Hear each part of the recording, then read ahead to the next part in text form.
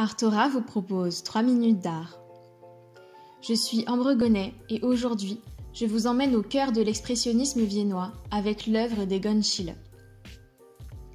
Particulièrement célèbre pour ses portraits et ses représentations très personnelles du corps humain, le travail de Schiele ne laisse personne indifférent. Ses œuvres sont caractérisées par un trait marqué, des poses complexes et une représentation de la chair comme tuméfiée. Toutes ces caractéristiques ont amené à rapprocher l'œuvre de Schiele du courant expressionniste qui se développe à la fin du XIXe siècle dans les pays germaniques. Schiele recherche avant tout les contrastes. Les figures sont souvent sur un fond blanc, accentuant la plupart du temps leur nudité. Il traite en effet énormément du nu, que ce soit dans les portraits, mais également dans ses autoportraits.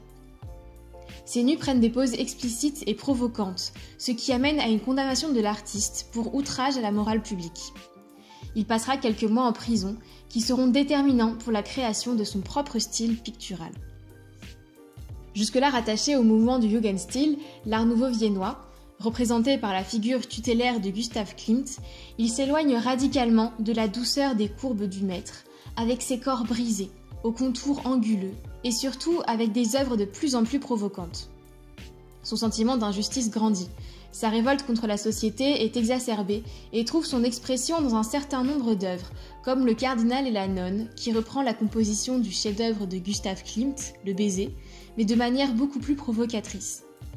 À la place d'un couple d'amoureux, ce sont deux membres du clergé qui sont représentés dans une posture évocatrice. Schiele accorde une grande importance aux autoportraits. Il en a réalisé une centaine en 15 ans, un record inégalé dans l'histoire de l'art. Il ne cherche pas à représenter sa condition sociale, ni son état émotionnel, mais plutôt à transcrire l'intériorité angoissée du moi, par les positions excentriques du corps ou des mains qu'il peint.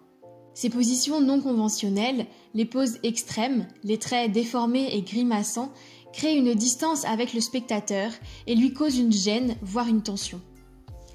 Schiele fait du corps humain un puissant support de l'expressivité. Son dernier tableau, Une famille, est devenu le symbole de la vie fulgurante et tragique de Schiele.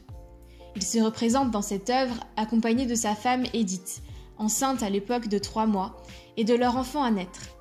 Il se projette dans l'avenir et imagine sa future famille.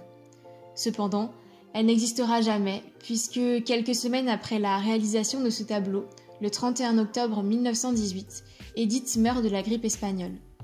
Trois jours plus tard, Egon succombe à son tour de la maladie, à seulement 28 ans. À demain!